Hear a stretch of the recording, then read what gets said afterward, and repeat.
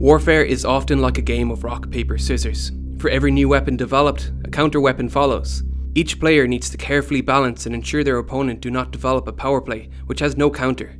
But with the start of the Cold War and the invention of the nuclear bomb, this ever evolving game of rock, paper, scissors has deteriorated into a game where each player stockpiles rocks and develops new ways to hurl them at their opponent.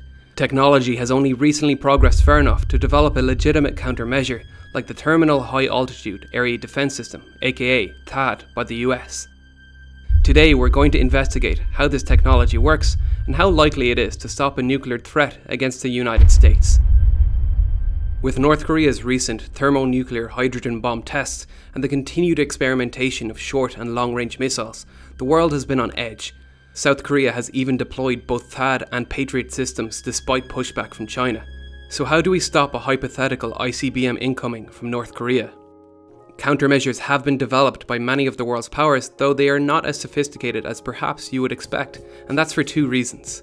One, because in 1972 the United States and Soviet Union signed an anti ballistic missile treaty, which was designed to limit the development and deployment of these defensive countermeasures, and the US only withdrew from the treaty to protect the US from nuclear blackmail from rogue states like Iran and North Korea and two, because ICBMs are really, really hard to intercept. To counter these threats, the US has contracted the top military engineering groups to develop and maintain an Integrated Ballistic Missile Defense System, or BMDS. The system integrates independent short, medium, and long range missile defense systems, such as Patriot, Aegis, and THAAD, into one communication network.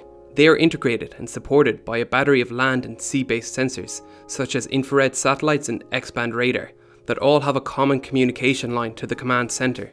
This allows new radar systems or mobile Navy vessels with sensors and interceptors to be seamlessly incorporated if they are in the region. There are three main phases of an ICBM the boost phase, mid course phase, and terminal phase. Each phase have different challenges in terms of interception. During the boost phase, the US would first detect heat signatures from a launch with infrared satellites and communicate this to the command centre. Regional radar would pick up the missiles and provide accurate tracking, all of this data is processed and a trajectory probability map is built and continuously updated throughout the course of the flight. Interception at this point is not likely as the target is in enemy airspace and most interceptors are not fast enough to reach the target before it enters the mid-course phase in the upper atmosphere and space. With a 2 or 3 stage ICBM, the boost phase can last under 10 minutes and propel the vehicle to an altitude of around 1,200 kilometers above the surface of the Earth, or 3 times higher than the orbit of the International Space Station. At this point, the projectile can be travelling as fast as 7 km per second, or 20 to 25 times the speed of sound, meaning a capable missile can travel halfway around the planet in about 45 minutes or less.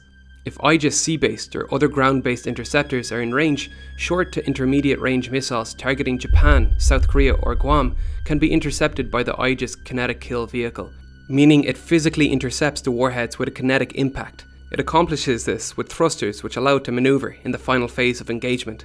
This is not an easy task as the system must attempt to discriminate threats within the threat cloud. The threat cloud consists of active warheads, decoys, and debris. In the case of North Korea, it's unlikely multiple warheads would be used due to the size and weight constraints, but some primitive decoys are more than likely. The terminal phase is when the warheads begin to re enter the atmosphere towards their targets. The Terminal High Altitude Area Defense, or THAAD, is a long range missile defense system that targets missiles at this stage, with installations on the west coast of the United States, Alaska, Guam, and more recently, South Korea.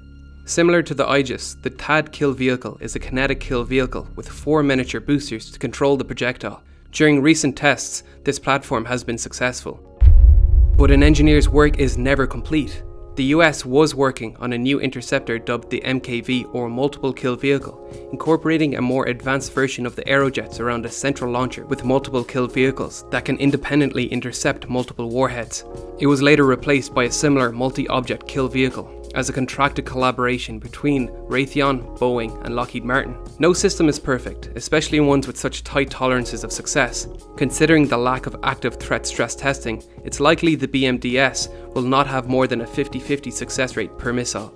Against a threat like North Korea, multiple interceptors will make an attempt, and it's highly probable the US will succeed in taking it out. And if North Korea decided to attack Seoul, it's much more likely that they would be able to overwhelm their defences.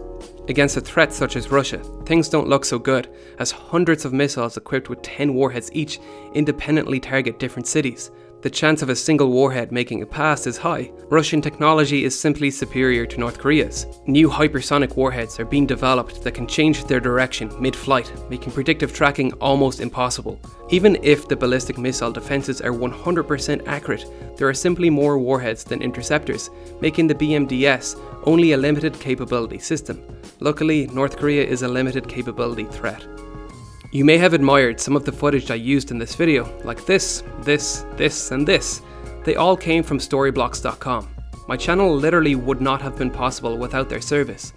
When I began this channel, I planned to animate everything, but that is simply way too much work. So I began looking for a stock footage site that would have suitable footage to use in places that did not need animation, and that's where Storyblocks came in. Storyblocks is the first and only stock media company, offering unlimited free downloads of member library content for a modest annual fee of $149. I use up to 20 or more videos in each episode. That would have cost upwards of $1,000 without their service. This service is enabling so many channels like mine to exist. I really can't recommend them enough, and they have stock images and audio too. You can try out their service for free for 7 days by going to storyblocks.com forward slash real engineering. As always, thanks for watching and thank you to all my Patreon supporters for making this channel possible. If you'd like to see more from me, the links for my social media accounts are below. I'm making efforts to post more educational content on my Instagram account, so check that out if you're interested.